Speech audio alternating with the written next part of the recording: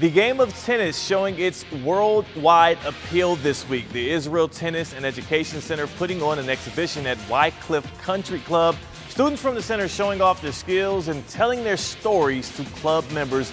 Money donated to the center helps ensure that children in Israel have the same opportunity to pursue their tennis dreams without economic or social barriers.